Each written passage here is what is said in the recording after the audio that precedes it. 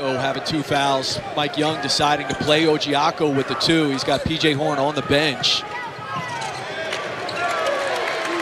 Nice drive by Wabissa Bede. A shot to beat anybody. There's Nolley in the paint. Little touch down low. Shot clock. One or two passes. Here's Mr. Instant Offense. Jalen Cone, his second three.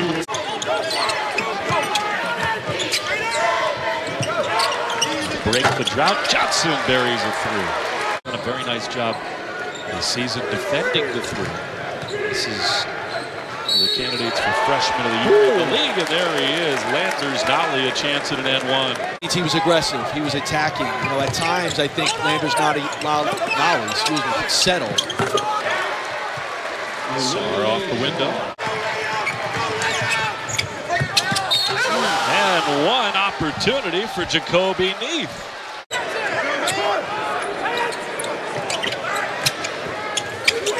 Sarr has been active. He's talented. Least favorite shot of all. One foot inside the line, deflection, but Mucius comes down with it.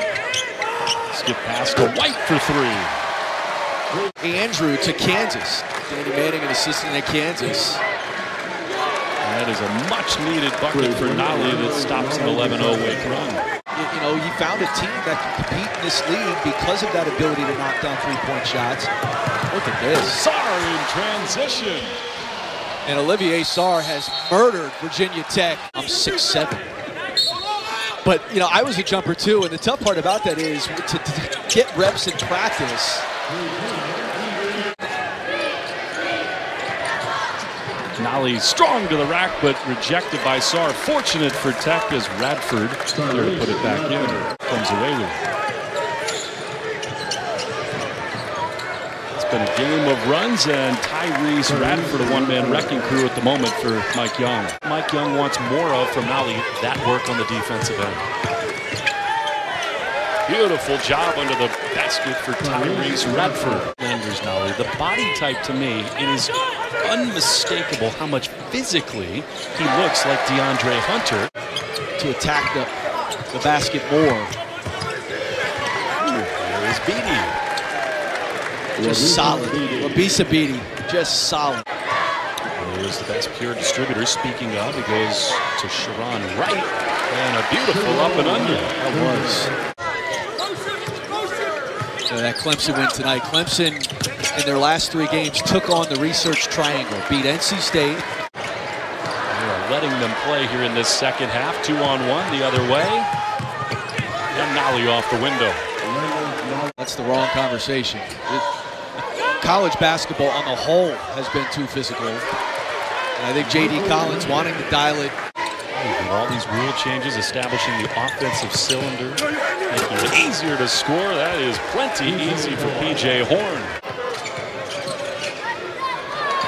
They're starting to get a ton of deflections. The other way, Radford. What a feed. Bede. Georgia Tech, I think, is, is going to have a chance here to win some games. Of course, not eligible for the tournament, but that's a whole nother conversation. They have nobody else around him who can consistently score, and teams know that. They're not very consistent defensively, as Neath knocks down a three. Bede misses often. Though never shy for three. Very lucky to have Mike Young at the helm, and they are going to watch a super entertaining brand of basketball for years to come. I should be on a, in a on an NBA roster at some point here. Ooh, every minute as Cone continues his surge. Ability. Let's classify. Take it easy. Get into that. Tyrece Radford says we. Better than I. So I, I got into some French press coffee discussion.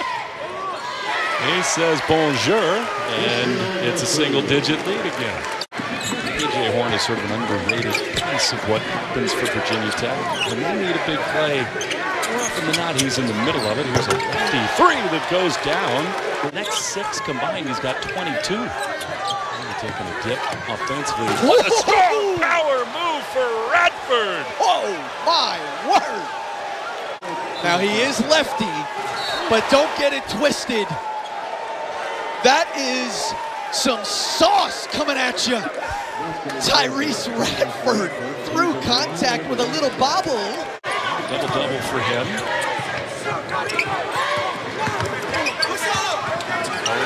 The Southpaws are doing it for the Hokies. But at this point, yeah, I mean, I think that you could serve to throw it to him every time down. Nolley at the end of the shot clock. Contract for three more years here at Wake Forest, so find a way to turn it around as Childress. How much better will they get? You know, I think it's so fascinating because for the better part of this college basketball, There's a lot of value to being in college. Look, could they make money and should the system, the amateurism, amateurism system be worked? Absolutely. Childress getting me going a little bit. I'm They'd ever play him. Yeah, I don't think they'd ever play him both. But but in terms of Oguama playing more minutes, they, they just needed Sarr's production. quite a little teardrop in the lane. A beautiful outlet on the inbound. And a layup for Tyrece Radford. Is having himself a night. Career high in both points and rebounds. He's got 20 and 13. And here's what Wake always does. Extending the career high. Got 22. Too little, too late for Childress. Tech back ahead by 12. See if this is Wake's final possession. Over the top to Sarr. Lays it in with the left hand. Means they'll likely look once again to foul and extend this game. Expect him to shoot it really well. He is ice cold, but no matter, Virginia Tech salts it away, and Mike Young and the Hokies are four and two in ACC play.